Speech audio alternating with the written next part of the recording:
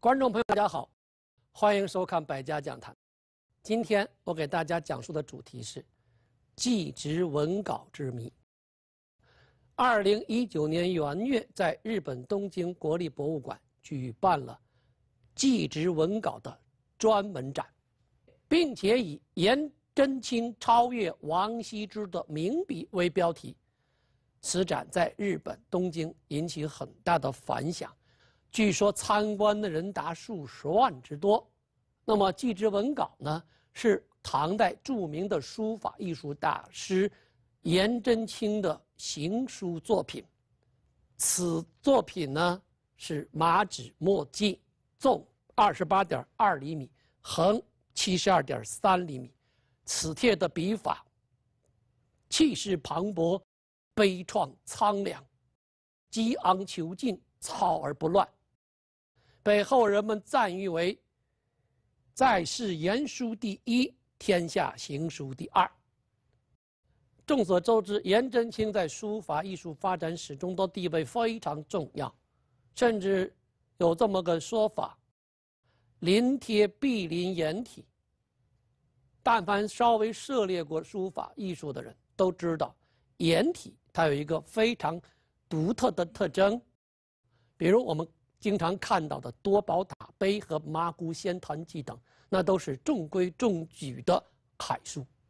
可是这份祭侄文稿呢，却是行书。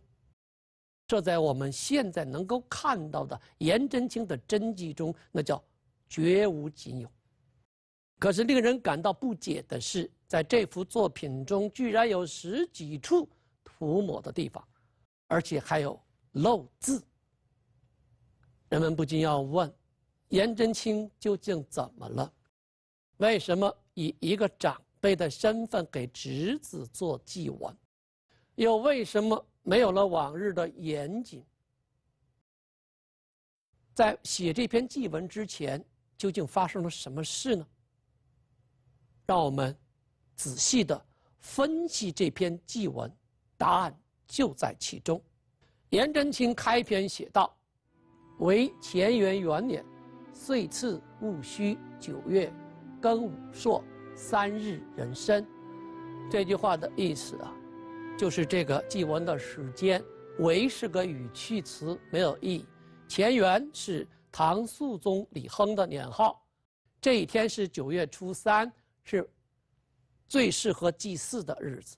壬申就是当天下午三点到。五点之间，接着呢，颜真卿啊写了从父，然后涂抹掉，又写第十三书。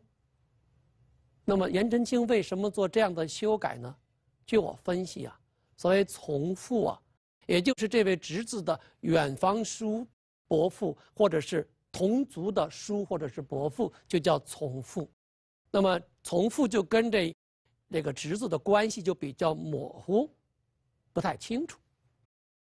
那么第十三书就不一样了，这就说明颜真卿跟这位侄子的父亲是一个爷爷的叔伯兄弟，颜真卿是这位侄子的父亲的第十三个弟弟，所以叫第十三叔。这个关系就比从父亲近了很多。接着呢，颜真卿就写了一连串他的头衔和官职。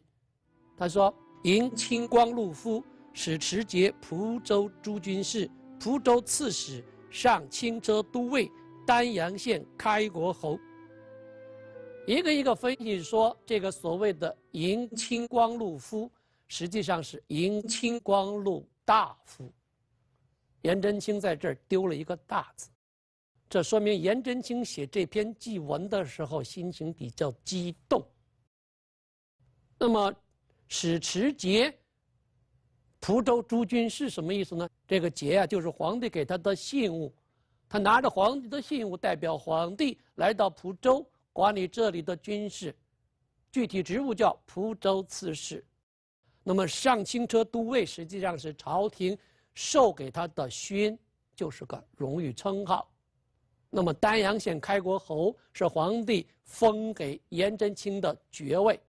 那么人们就要问了：这一串的头衔，虽然有些是虚衔或者荣誉称号，但毕竟表明颜真卿在当时地位显赫。今天的人可能不理解了，你就是写篇祭文吗？干嘛要把这些头衔和荣誉称号都写在文章的前边呢？难道是要炫耀你的显赫不成吗？当然不是。